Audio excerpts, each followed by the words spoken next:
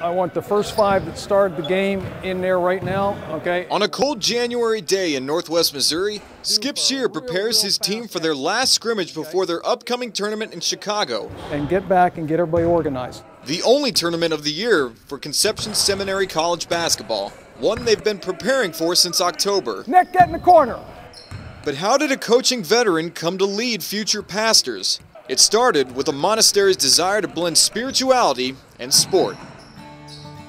The seminary really began when the monks first came in 1873, so we've been in this business for quite a while. It's not only uh, the academic formation, but it's also what we would call character formation. Tucked away in tiny Conception Junction, the Conception Abbey Monastery and Seminary College is home to over 90 students and 40 monks. A small population, but still one of the largest of 40 schools of its kind in the country. It's great to have uh, the focus that comes from a smaller academic community, but also the faith community. Um, that's what uh, makes this experience pretty unique. Chartered in 1886, the school offered classes at the high school and junior college levels until moving solely to seminary work in 1942. Since then, it's become a landing spot for young men seeking priesthood. I think there's a lot of uh, stereotypes that go with it, with Hollywood and movies uh, and that about what the way religious life is and priest, priestly life. A smaller community,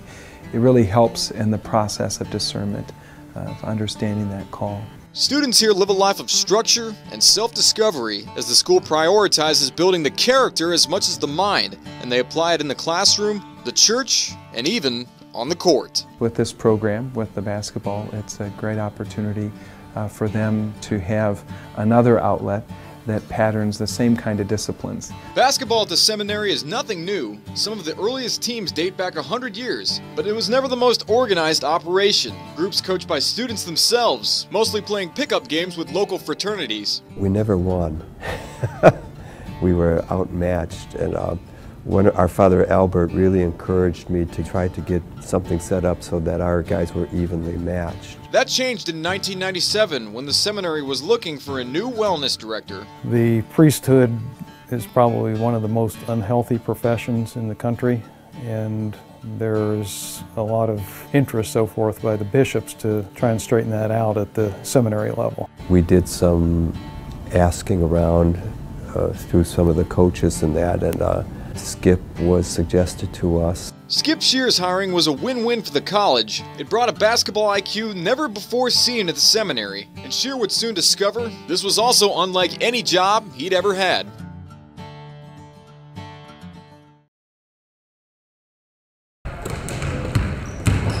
I wanted Andy to guard the guy inside. And if that's if that's what you would rather me okay. do is stay okay. outside, then I'll do that. Okay, we'll, I mean, we'll see when wanna... we go back. You know, when we go back, maybe it can change.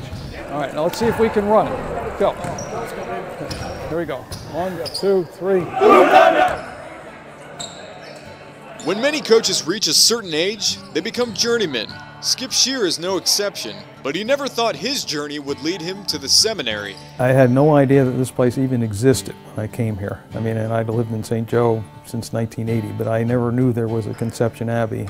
That was nearly two decades ago, but Shear has been both a teacher and student of basketball since his college days. I would come home from practice, particularly at West Point.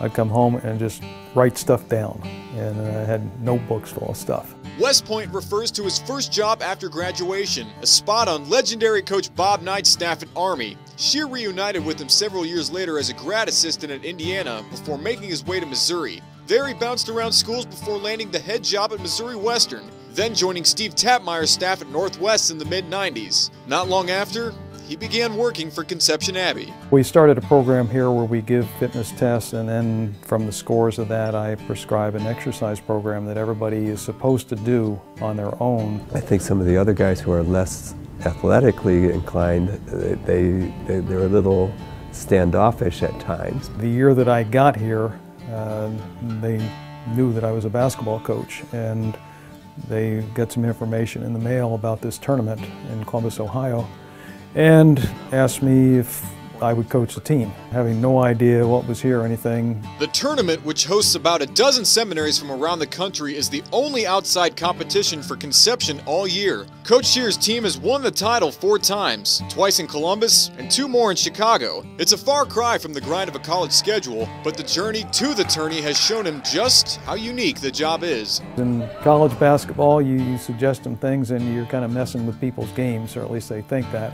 And uh, that never happens here. Uh, they're pretty much all eyes and ears. Hit him right there. Hit him. Hit him. There you go. Boom. Coach can sometimes, you know, get, get a little excited, and he wants he wants us to, to play our best. Dylan. Dylan. You run three out front. Nick, you set the screen. Watch out. We are all college age, so he treats us like a college basketball team, and uh, he gets after it, and he, uh, it, it's it's for real. Well, why don't you get there? Huh? No, you weren't. You were on this side. Get out there. Let's go. His personality is very steady, and that's important. Uh, I think he's, he's a good coach, and the basketball team, they really do look up to him. Now let's get with the program and run the stuff. Run your break. Get everybody to the five spots. Go. I'm not Catholic, and one of the few people here that is not Catholic, and that I didn't know what that would be like going in, but it's not a factor at all. And uh, it's great to have that kind of support. Okay. I got to have you run in the break. You're lost out there. Now, when we run pit, Not the talent level that I'm used to coaching, but kids that are receptive, kids that work very, very hard, uh, will do just about anything for you. So I enjoy that.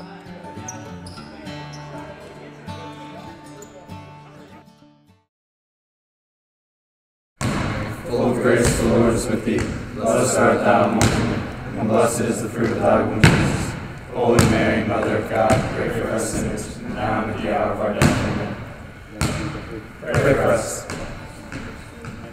At what point does a young man choose to become a priest? What makes him decide to devote his life to the church? These are questions most seminarians will hear, but the truth is, it can be hard to explain because there's no one way that it happens. I was dating a girl and uh, in a good relationship with her, and uh, I just felt uh, God was calling me to do something, something greater with my life. Being able to travel around to a large number of churches throughout Western Europe, uh, I started to, to really feel an inclination and a calling to, to discern seminary. Discernment. It's what the seminary life is all about, figuring out what this perceived call from God really means. It's a process that requires time, prayer, and quiet, part of the reason why Conception Abbey is so secluded, and part of what feeds into a full slate for the students. We meet at 6:45 for prayer uh, as a community. Classes will go all morning until Mass, uh, right around the noon hour. Following Mass is a lunch. Come around 3:30 or so, you got a little bit of, of free time, and that'll take us right up to evening prayer. It's full schedule. Many seminarians don't choose Conception Abbey. It's found for them by their bishop. They arrive knowing little about Conception Junction or the seminary schedule. They quickly find out that coping with it requires the occasional release, and some have found it through basketball. It's a lot of thinking, it's a lot of prayer, it's a lot of uh, using everything but, I guess, your athletic side and your competitive side. And so it's good to come out here and run around and, and bang it around a little bit. If I am all tense in the day, I like it's good to come out here and just be angry, you know, just be ferocious and let it all out. This isn't necessarily the highest level of basketball. We got guys who've been pretty good in high school. We got guys who've almost never played in their life. The first practice, we were fumbling balls. We were uh, running around the court, not sure what to do. come on, Dylan, you're better than that. Good round. It was apparent that a lot of us hadn't really played organized basketball before, um, but we've made large strides in the last few months. We pretty much tell the kids when they start that, you know, if you're going to be in this, it's a time commitment and you have to dedicate yourself to it. The education on the court comes quicker than any other at the seminary, with just four months to practice three to four times a week before their one tournament of the year in Chicago. And like Coach Skip Shear, that experience and that commitment is what stands out. There are really no off the court problems. I mean, this life is so structured here, and, and uh, you know, basically you're dealing with very good kids anyway. They're all striving for the same thing, um, priesthood eventually, and so you get to have some great conversations with those guys and then compete. We really get a lot of good bonding time, like in the in the vans together. So I say we form it we form a special bond that other, other guys don't have. A bond they build for teammates, for faith, for life. Basketball and God are like my two favorite things in life. So I got to do both of them when I was here.